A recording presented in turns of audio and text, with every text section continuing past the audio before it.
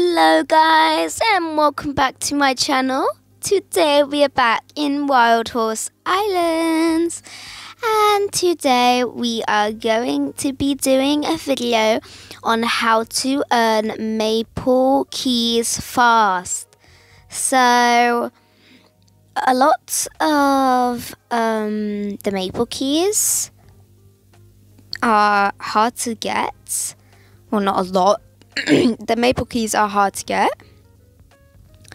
Um, so today I'm going to be showing you how to get um, them quicker. So the first thing you're going to want to do is so you can get maple keys um, by doing like collecting all the resources around, like the toadstools, the um, cotton, the corn, anything basically like counted as count that counts as a resource.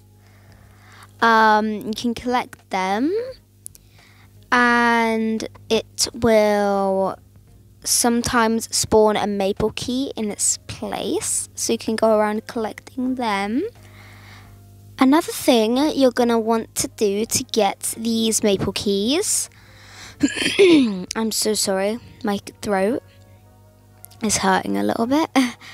Um, so I might have a bit of a croaky voice.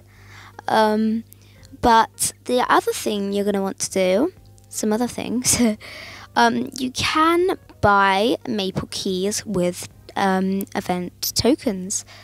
Uh, they are quite expensive. Um, Larry, let me. Why the lag makes your hat and beard grey? But um, the maple keys can be purchased for 100 each. And although that does seem expensive, oh, I just spotted this. I'm going to cash it. Um, but although it may seem expensive, there is a place where you can get tokens fast, and you don't really even have to do anything.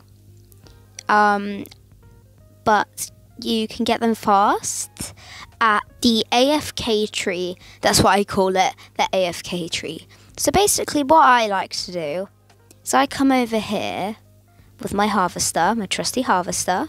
Oh, sorry, sorry, Arabian. I, I, I haven't named him yet. Um, let me just excuse me. Okay, yeah, I just come over here, mine this for 10 minutes or so, come back, shake the screen or something to make it um well, on mobile, that's how I do it. I don't really know much about PCs, but I just come over every 10 minutes, shake the screen, um, and I have more tokens because it gives you tokens and logs after you can sell the logs for money, and while you're mining, you get tokens. So it works both ways, really. Although that way is a bit boring, there are more ways you can get them. So as you can see here, my beautiful Arabian needs attention. And you get a lot of tokens for taking care of your horses. So while you're doing getting these tokens, you can spend them on the maple keys. So I'm going to go to Luna Island here and I'm going, I'm just going to get these. Um, I'm going to catch the horses, say, around.